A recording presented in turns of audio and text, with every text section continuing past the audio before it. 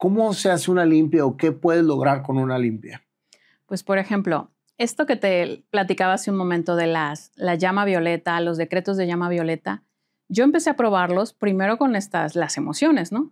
Y entonces después, por lógica, dije, ah, pues le podemos pedir a la llama violeta que retire entidades o que retire energía negativa. Y lo va a hacer. Y entonces dije, bueno, pues vamos a ponerlo a prueba, porque obviamente todo me gusta ponerlo a prueba. Entonces, en alguna ocasión, me encanta porque el universo siempre me escucha, sin necesidad de que yo busque, me llega el caso y me dice una amiga, este, amiga, yo creo que traigo una entidad o un ser ahí pegado porque ya choqué dos veces en el, y me chocan, dicen, ni siquiera es algo que, que, por falta de cuidado, no, no, no, llegan y me chocan y ya van dos veces en el mismo mes. Entonces, yo creo que traigo algo, ¿me puedes ayudar a revisarme? yo, así. Ah, ¿Y tú puedes detectar la entidad? Digamos que yo no, pero tengo amigas videntes que sí. Entonces le hablo por teléfono a otra amiga, porque aparte he conocido a muchas amigas videntes que primero son mis pacientes y cuando yo veo que, entran en conexión, digamos, en una meditación y empiezan a percibir a los ángeles o a los seres de luz de forma muy rápida, sin que tengan que relajarlas yo tanto tiempo, eh, ahí es donde yo detecto que la persona es muy sensible a, percibir y, y, es vidente y es clarisensible y todo esto. Entonces le hablo a una de estas amigas que se llama Lupita y, este, Lupita siempre ha sido muy miedosa. Entonces le digo, Lupita, ayúdame a ver qué tiene mi otra amiga que, se llama Eriquita.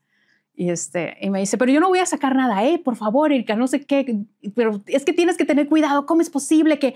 Y yo, tranquila, Lupita, tú no vas a hacer nada, tú nada más vas a ver y yo voy a hacer todo. Pero que sea en tu casa, que no... yo sí, va a ser en mi casa, tranquila, relájate. Bueno, está bien.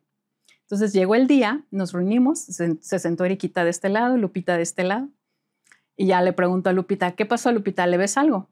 Y me dice, y Lupita así de, sí, pero no lo quiero ver. y le digo, ¿qué trae? Y me dice, pues es un ser ahí oscuro, medio feo. Y yo, bueno, vamos a sacarlo. Eh, me dijeron en una regresión, una chica que conectó con el maestro Saint Germain, con este guía espiritual, que si le pedíamos a la llama violeta y le pedíamos a él, pues él nos ayudaba a retirar la entidad. Así que pues vamos a ver. Bueno, y, este, Lupita, pero yo no voy a decir nada, yo no voy a hacer nada. yo, sí, tú tranquila, Lupita, tú nada más nos dices qué, qué sucede. Entonces empieza, empezamos a decretar, yo soy la llama violeta y a través de la llama violeta te envolvemos y te expulsamos ahora. yo soy la llama violeta y a través de la llama violeta te envuelvo y te expulso ahora. Y lo empecé así a decretar y a decretar rápido, rápido y le pedía a Eriquita también que repitiera, yo soy la llama violeta, a través de la llama violeta te envuelvo, te envuelvo y te expulso ahora. Y estábamos así, ya llevamos cinco minutos, siete minutos, yo soy la llama violeta, ya con la garganta deshecha y todo.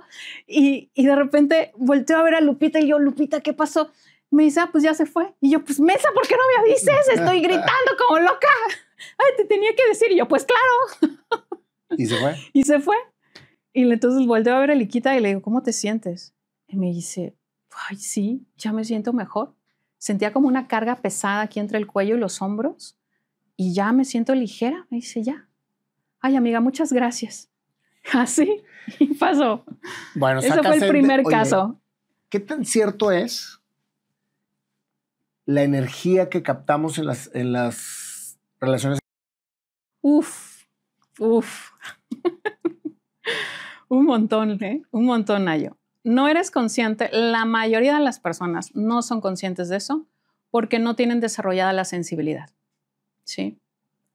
Y te lo dice alguien que estaba bien bloqueada con la sensibilidad. En un inicio, yo era la más bloqueada del mundo mundial. Pero conforme he ido haciendo trabajo de sanación de heridas y muchas cosas, sobre todo trabajar con el niño interior, ayuda mucho a desarrollar la sensibilidad. Conforme vas adentrándote más, empiezas a desarrollar sensibilidad. Entonces, incluso sin tener relaciones, puede, yo podía llegar a sentir hasta el dolor de cabeza de, de mi pareja. Incluso hablando por teléfono, le llegué a decir a uno, ¿estás fumando? Y él así, ¿qué? ¿Cómo sabes? y yo ya te sentí la cabeza, o sea, inmediatamente sin que yo me quisiera incluso conectar, podía pum, sentirlo inmediatamente, sentirlo. Entonces, las plantas, en este caso, este, él fumando, yo podía detectar como que el, el espíritu de la planta, como que rondándome en el cuerpo o en la cabeza. O sea, es súper extraño. Y cuando alguien, por ejemplo, trae parásitos energéticos, puede ser no por alguna brujería ni nada de eso, o sea, puede ser simplemente parásitos por tu mal carácter, porque eres enojón o porque te la pasas tristeando, en depresión, o porque eres rencoroso o porque eres muy negativo y entonces sí, todo, todo se te va a pegar. No solamente seres, sino pues parásitos, larvas, e, etcétera. Entonces, una persona que tiene muchas parejas, pues imagínate toda la contaminadera de cosas que se jala y, y obviamente, aunque no seas consciente, vas a jalar toda la energía de la persona con la que estás compartiendo energías. Sí. O sea, no es un mito, es una realidad. Es una realidad, totalmente. ¿Y eso también lo limpias? Sí, claro. Sí. Sí, sí. ¿Y cuando lo limpias, tú no te llenas de todo eso? No, claro que no, porque quien lo limpia son los ángeles, yo no. Mm. Yo se lo pido a los ángeles, yo soy la intermediaria y obviamente hacemos una limpieza y después yo me tengo que limpiar también por cualquier cosita que se haya, digamos, Pegado. pegado o colado por ahí. ¿El mal de ojo? También, pero eso digamos que no Es todas las personas tienen el poder, ¿sabes? Es, el mal de ojo existe, pero en gente que, que en vidas pasadas ya manejó la magia o ya manejó el poder mental. Porque no todos pueden echarte un mal de ojo. Alguien que es demasiado bonachón, por ejemplo, no te echa mal de ojo. Porque tiene su parte oscura muy reprimida. ¿sí? Ahí es cuando su sombra la reprimen, la reprimen tanto ¿Y por qué la reprimen tanto? Porque en la niñez le dijeron, les dijeron que tenían que ser niñas buenas o niños buenos. Y son personas que no se permiten nunca enojarse o que si se enojan se lo tragan todo y nunca son capaces ni siquiera de gritar. Sí. Ujú.